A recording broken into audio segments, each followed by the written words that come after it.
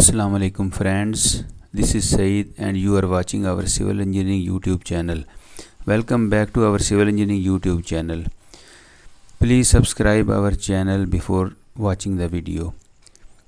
Today our topic is how to calculate quantity of water in rectangular shape water tank.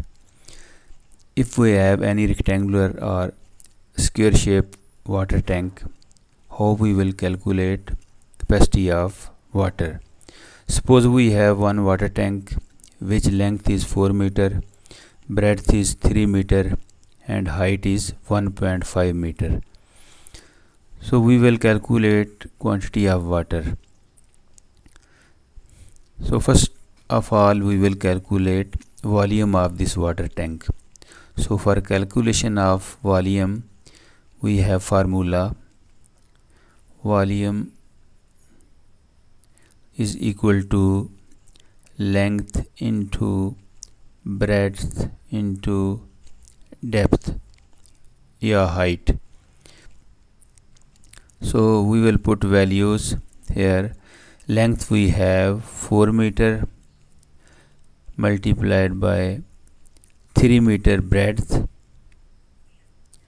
and height we have 1.50 meter. 1 0.50 meter. So after calculation we will get 18 cubic meter. So volume of this water tank is 18 cubic meter. So 1 cubic meter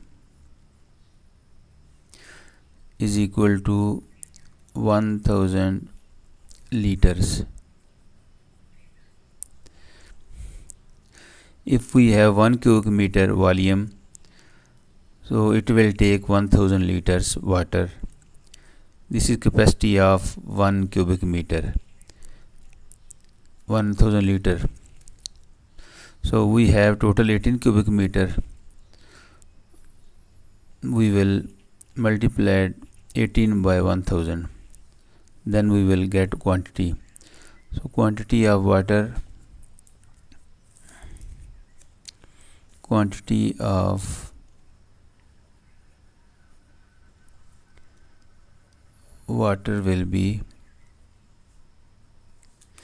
total we have 18 cubic meter and in 1 cubic meter uh, in 1 cubic meter 1000 liter water capacity into 1000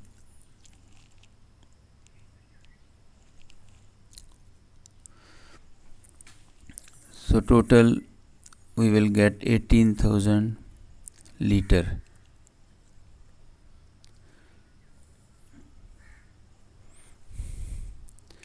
This tank will take 80,000 liter water inside. So this is the main formula we have to remember. 1 cubic meter is equal to 1000 liter. Similarly you can calculate in foot. If we have this is in feet 3 feet or 6 feet and height is also 2 feet or 3 feet so similarly we will calculate capacity of water. Only the thing is need to remember that 1 foot cubic is equal to 28.31 liter.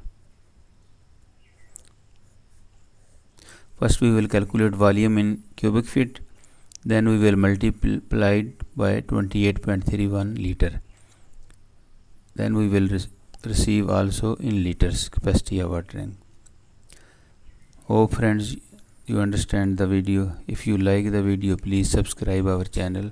Thanks for watching. Allah hafiz